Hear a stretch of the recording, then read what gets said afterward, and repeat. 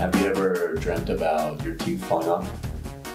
Yeah, a lot of times I feel like I don't know why. I can't really remember what happens in the dream, but I feel like it always ends with teeth coming out reason. When you were the, the last cup before the World Cup, um, was it a tough moment for you, or you were just like, okay, come back to Santiago with my family and focus on, on the season?